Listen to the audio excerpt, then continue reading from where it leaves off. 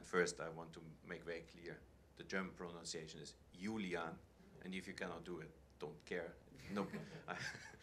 um, yes, it's, uh, a, it's an exciting day uh, to have Julian here today and have see him on the pitch. Um, I know we are not always making it easy for you because we always say, hey, stay patient. We want to sign the right one, not the first one.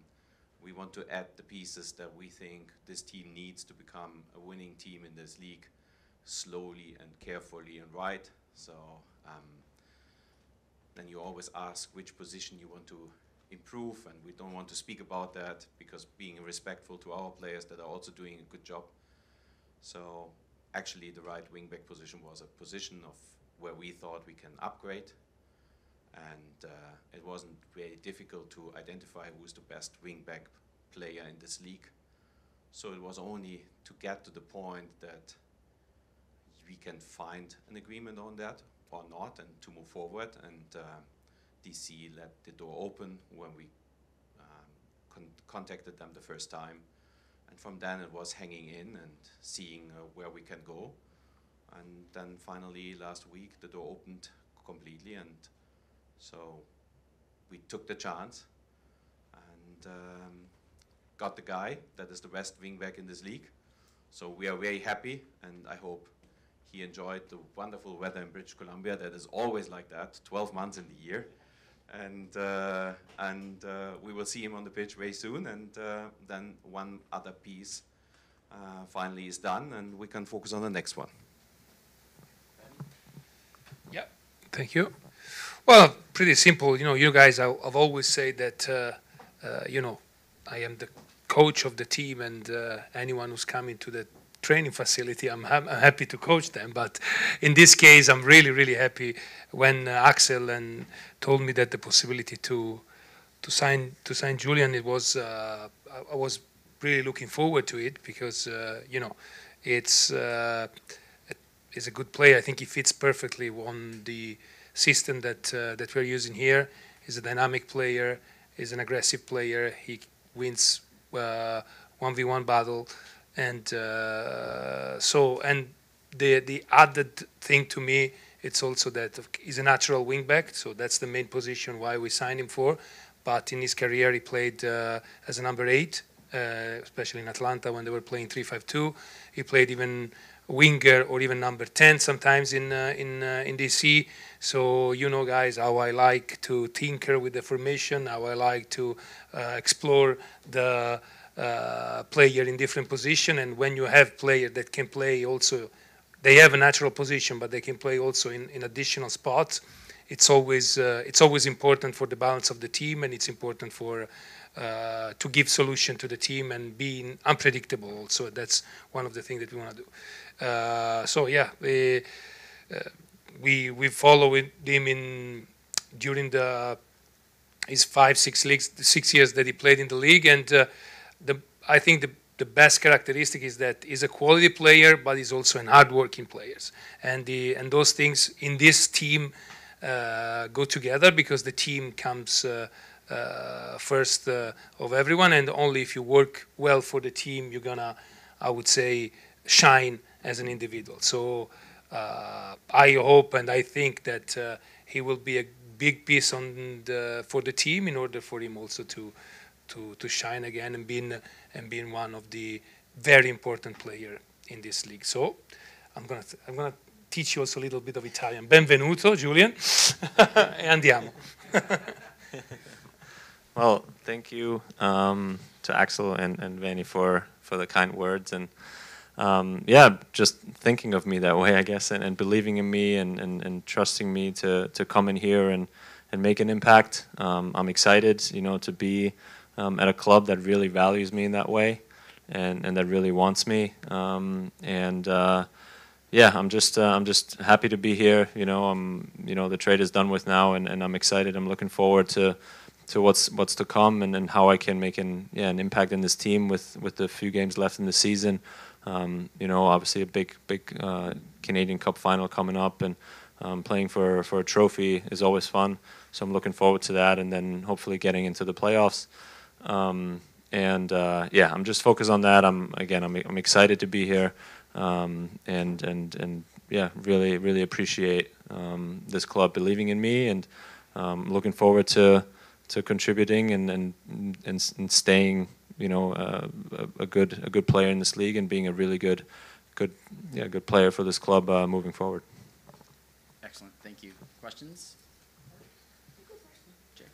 Actually, you don't acquire a player like this if he's not a significant piece of, of, of this franchise. Can we call him a significant piece? And you mentioned the fact that he's somebody you had your eye on for a while.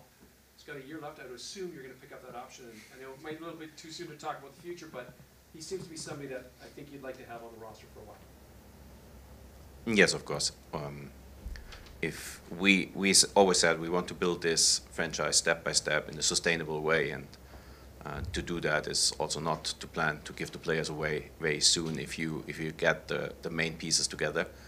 Um, but we have done our background checks. We have we have spoken with so many people. He's a important piece for us as a club on the pitch and also off the pitch. I know that he has done a lot of amazing work uh, on the social impact side.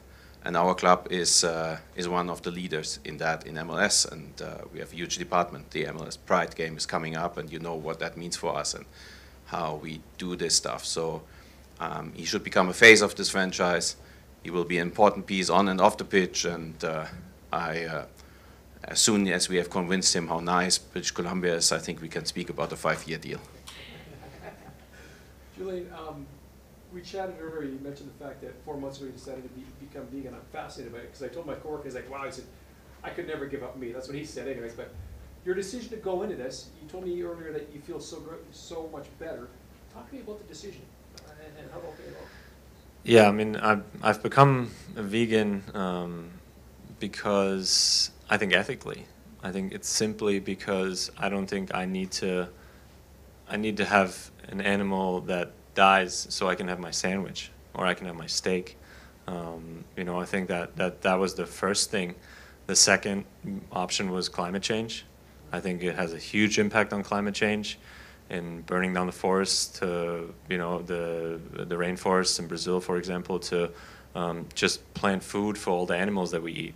You know, I think that those types of reasons were number one, and then number two and, and three, and you know, all they are. There's so many reasons because the more research I did, and I did a lot because I didn't want to put my body at risk. You know, obviously it's my job. Like my body is my job, um, so I didn't want to jump into this out of the blue. And um, the more research I did, the more I found out that this can be really beneficial for me in terms of healthy, in terms of recovery, in terms of longevity of my career, uh, not just my career, my whole life. Um, so that was kind of yeah, those were the reasons why I started it. And on top of that, now being into it, you know, three four months, I feel great. You know, I don't have any deficiencies. I, you know, I'm not sick more. I'm, not, you know, none of that. Like I'm not injured. It's it's really like it's just been been really good, and I'm excited to continue it. Glad you've been taking that stand. Um, let's talk about the soccer side of things. We know that you can score goals, but you really show your worth when you set up everybody else. Is that where you take your greatest pride in, your game, or, or how would you characterize what you do best? Um, I mean, I'd rather have two assists than one goal um, because that means we scored twice, you know, as a team. Um, that's me, the team player, you know, a guy that I don't look at the stat sheet. I don't look at, oh man, I have to take this penalty. I want to take this corner so maybe I can get an assist. No, none of that. I think um, I'm, I'm, a team guy first that um, wants to win, you know, over, above else. And um, if that means my role is, you know, to assist uh, more and, and not be scoring myself, then that's fine. You know, if my role is to maybe play a bit more defensive even and let other guys be more creative going forward, then that's that role, you know, and, and that's obviously Vanni's job to decide in order what kind of role he wants to put me in. And um, again, I'm, I'm here to, to win win soccer games, uh, win trophies, and uh, yeah, that's that's kind of been me throughout my whole career. And the team always comes first, and, and that's that's who I am. Hi, this is Har with Daily Hive. Julian, I was wondering, what were your impressions of watching that Portland game on the weekend and your first practice today? Yeah, so I only made it through about the, the first half of that Portland game. I was I was really tired because um, it was pretty late on the East Coast still. Um, but uh, no, I thought I thought the team played good. You know, I, you know, I thought they had a great game plan going in, and obviously scored a really good goal. Um, go up 1-0. I was a little bit um, uh, disappointed that you know at the end you kind of concede the goal. When I woke up, I, I saw the 1-1, and it would have been nice to get the three. But I think it's a great point on the road. Um, you can see the the team spirit and you know how how Vanni is on the sidelines and you know how that translates onto the field and and all that type of stuff. And, and you can see that it was a team that, you know, was on the same page um, in terms of togetherness, in terms of unity, and in terms of kind of what the plan is for that specific game. And, and that's very good to see because it's easy to get come into a team like that, I think, and, and for me to be able to adjust to um, to that style of play and to whatever the game plan will be on Saturday or then the following game or whatever. Um, so it will be, um, yeah, it was a good first impression. Um, also, you know, obviously it was good today to get out, get some touches, talk to the guys, and, and laugh a little bit with them, and, and get to work a bit more, uh, obviously in the coming days. But um, certainly off to, to a good start and, and an encouraging one, and I'm, I'm excited to again play more of a more of a role. Uh, one of those guys, Florian, he likes to talk, so what has it been like to hang out with him and meet Florian? Um, so yeah. Overwhelming for sure. So I've obviously known him throughout the league, throughout the years a little bit, as he was in San Jose and now here, and I don't, didn't get to play to him too much um, because Eastern and Western Conference. But uh, yeah, he, he came in, you know, sat next to me at, at breakfast, and you know, we had some good conversations about just when I got in and when my family's coming, all that type of stuff, and it's just easy to, you know, I, I spoke to, to Jake Nerwinski as well over the weekend um, via text a little bit, so it's easy to have kind of those early connections to start with to kind of have a couple go-to guys that you can kind of, hey, when are we doing this? What are we doing here? Um, before you really get comfortable with everything, and so you know those two guys I would probably take out and, and or uh, and just say that you know they've been they've been great so far. Okay, we're gonna throw it over to Bruce, then we'll go online for a question from Tom Bogert via Sarita, then we'll go to Joshua. It's Bruce. Yeah, j- uh, anytime in a career, you know, anytime any changes, there's ob- obviously adjustments, uh, you have to, uh, you go through and things like, things like that, and, um, having played in the Eastern Conference for the majority of your career, uh, what adjustments have you had to make, uh, with you, your family, um, coming west? Well, so far none really because uh, you know this was this happened four days ago, Friday. So um, there will be a lot of adjustments I think going forward. Um, but I think my wife has been super supportive. I can't be more thankful to have her by my side and and be open to all of this um, because it happened quickly and everything. Um, so it'll be it'll be exciting for our family. You know, we have a 20 month old daughter that um, my wife they're coming in a couple weeks already. We want to get them out here so get so they can get to know the city, um, and then we make a decision on where we want to live long term. Um, those types of things, and um, again, it, it'll be it'll be a lot harder if she wasn't she wasn't so supportive. Um, and in the in terms of soccer, I think it's almost like a new league. Yeah, you know, you play some Western Conference teams here and there, but uh, I'm excited for it. You know, I think I've from what I've spoken to old teammates from Atlanta that are now retired that have played in the West. They're like, the West is awesome. The West is a ton of fun. So um, I'm excited to get to know you know new new cities, new stadiums on a regular basis, um, and and be part of be part of the Western Conference. All right, Sarita. Uh, this is online from Tom Bogert. Um, Axel, can you walk us through when you knew it was possible to get this deal done and the process behind it? Tell Tom to fly out here. Yeah. Legendary Tom Bogert. Um, what is the question? When we When found out? When you knew this, uh, deal was gonna get done, the process of how you knew what was gonna happen and how you got to this point.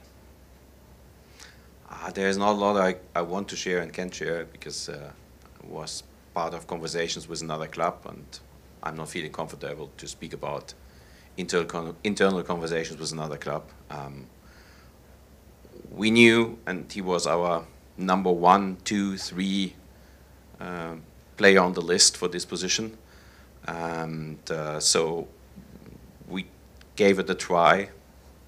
At that point, they left the door a little bit open. It was back and forth. It was a no yet, not yet, maybe in two weeks. So it took a little bit of a time, and mm, we we hang in and waited because, uh, as I said, we don't want to sign just somebody to have somebody for a position, and we don't want to sign somebody if we have the feeling we can get somebody better. And um, so when the door completely opened, um, we, we found a solution. Joshua? Julian, Joshua, Area 51 Sports Network, welcome to Vancouver. Uh, what would your message be to the Vancouver Whitecaps fan base? Yeah, just that I'm, I'm excited to be here and, and I'm excited to be part of this community. You know, I'm excited to, to get to know them, to be, play at BC Place, um, to obviously show what I can do on the field, um, but also, like Axel said earlier, you know, about me being a part of the community and, and being able to, to connect with fans, being able to make an impact. I've done that in Atlanta, um, I've done that in DC, um, and, and um, I'm planning to do it here. You know, my wife is big on this, I'm big on this, and, and we're, we're regular people, you know, when, I, when I'm all the time. So uh, we want to connect um, with the community. We want to be part of this this city um, and and make an impact to help better lives and and help um, yeah use my platform um, that I've been given um, that I'm thankful for um, that I've been given and and that aspect for sure we want to we want to make an impact as well. But again, I think that all starts with winning games, and it makes it a lot easier to do community work. If we if we win games or in the playoffs or you know everybody the whole city is excited about this club and and and that's what it starts with. So uh, i'm here to do that first and then you know try and try and make an impact off the field as well. What was your reaction when you first heard you got traded to Vancouver? i was shocked a little bit. Um, yeah because i had i had no idea that vancouver was interested i had no idea that dc was even trying to get rid of me um, so it was certainly a shock when I went into that meeting, and, and or, or, yeah. Um, but uh, you know, as the hours and hours kind of went on, and you kept thinking about it, have conversations with, you know, these two guys here, and um, you talk to to it all, you talk through it all a bit more uh, with the family and everything, and then the more, the longer it went on, the more I got excited um, to come out to a club that really values me and and to, to be on this adventure with my family about a new city that we really don't know anything about. Um, so it was at first it was a shock, but now it's it's really turned into excitement. And Vanni, your first impressions of Julian in the first day of training? Well, you know, today he he was a kind of a, a recovery day, so his first, I would say, real big training with us will be tomorrow. So we need to know that, uh, you know, as as everyone who comes, he he will need a, I would say, a kind of uh, adaptation. It's a new system, it's a new way of playing. But uh, in my uh, in my experience, uh, when you if you focus on the tactics and the and the player is receptive, is you don't need two months to learn a, new thing. Yeah, it's a, after two three training session you are you are uh, uh, you're up to speed. We actually we tried to have a head start. We prepared a video for him, so uh, I hope he watched it. We sent it to him. Uh, so uh, about our principle, how does it mean? mm, What are the the positional requirements for a wingback to play in our system? So yeah, I think that uh, it's not like uh, when we signed. Uh, uh, I don't know, Andres, when we signed Luis, there are players that were out of condition. Uh, Julian played, okay, he missed last game because he had a, a little problem, but he was in, in the in the in the rhythm of the season, so he will be, I would say, fighting for a spot in the starting eleven from, from tomorrow to try to, to be in the squad for for, for Chicago. Thank you. Julian, further to Joshua's um, question to you in regards to being here, you seem to be a guy who's very aware of everything going on, not just on the pitch, but what's going on in the world. And I'm wondering at this stage in your career, when you look at the big picture, how you want the rest of your career to go, how much does it factor in what Axel said, how much this franchise does in the community, and how much that means to you when it comes time to making a decision whether or not you want to sign for the five-year contract that said put your way? Because I think, because I think when you're at this stage in your life, I think that has to factor in. Could be wrong. No, absolutely it does, and it, it, it for us, or I'm speaking for my wife and I here. Um, for us, it was as soon as I'd been given this opportunity in, in Atlanta, where I'd come in as a rookie, I'd you know work my way into the starting eleven, into a regular starter, into um, a fan favorite. I want to say with the WrestleMania and, and everything that um, I I knew that I wanted to use that, um, and that wasn't just something that now in my career all of a sudden want to do. I think you know we did a charity golf tournament in Atlanta. We did a bunch of other work in in DC. Um, and I want to continue to doing those types of things, and um, it's certainly a big part. I think you can better the world if you change one person's life. I think that makes a big impact, and you know that's how you go about it. And you do the next one, then you do the next one, and uh, that's just the kind of person that I am, uh, the kind of person that my wife is, and, and I'm again ha- so thankful for her support, and I'm super yeah happy to be part of a club that that values that as well, you know, and that that does a lot of work that that way, and and has those those core principles um, that, that kind of seem to align with me, um, you know, so I'm, I'm excited to get to work on that, and um, again, just everything seems to, to kind of fit right here, yeah. Back online to Joshua Griffin. Before I ask the online question, do you watch wrestling from WrestleMania? No, No. absolutely. No. All right. Uh, this is a question from online. Uh, Joshua Griffith is asking, what do you do off the pitch? What do you like to do off the pitch?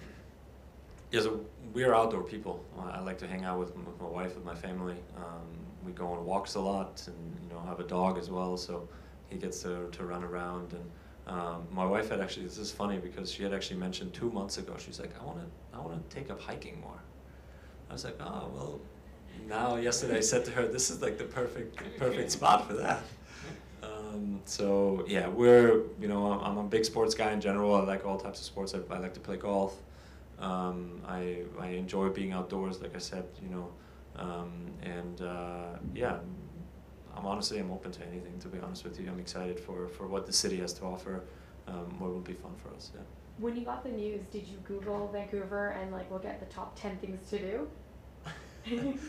Honestly, so much happened in that two three hours after I got told. I don't even remember.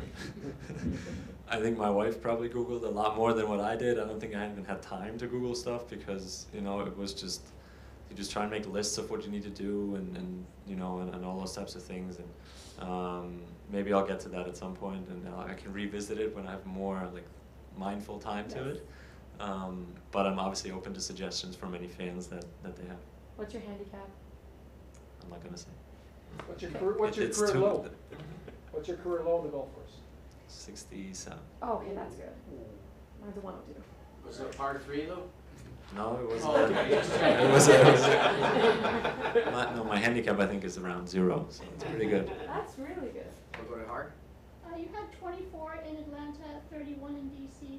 Why nineteen? And did you approach either Whitecap to try and get those numbers here? I didn't approach um, any of the players to ask for 24 or 31. Um, well, I'm 19 years old. That's why I'm wearing 19. Uh, no, it, 19 was available. I wasn't between 21 and 19, and um, 21 has my podcast colleague Fabian Herbers. So I was like, I can't steal that from him. 19 also aligned nicely because the 19th letter in the alphabet is S, um, and that Sophie is my daughter's name. Um, so in that sense, it was a little bit of uh, okay, you know, this kind of uh, it has a little bit of meaning to it. Um, but yeah, that's kind of the reason. Beautiful. Any final questions, Bruce? And you, you mentioned being involved in the community and, and that, and what other charities are, would, are you possibly, possibly looking at that the club does, or what were you involved in the past in DC and Atlanta? I, I honestly haven't had a chance to, to look at what the what the club does, and, and that might have to you know be tabled a little bit maybe until next year, until we kind of move here and Yeah. until we settle in and you know do my part on the field. Um, but uh, we've done charity work where we've built a soccer pitch. We've helped build a soccer pitch in Atlanta, um, in underserved communities. Uh, that's what we raised, I think, around hundred thousand dollars for in terms of with a golf tournament there. In uh, and then what I've uh, a, a cause that is dear to me is, is childhood cancer, um, because I connected with a little kid and um, in Atlanta um, hugely where they invited us to go trick or treating with them and, and had a really really big connection with him and uh, unfortunately he passed away about a year ago um, and uh, we're still in touch with that family and, and they were actually going to come out to DC now they're going to come see us in Nashville when we play there a couple weeks so um, but yeah it, it's that type of causes in terms of childhood in terms of improving improving lives um, to underserved communities you know people that aren't as lucky as I am um, and, and that type of work is, is certainly something some of my, of my focus.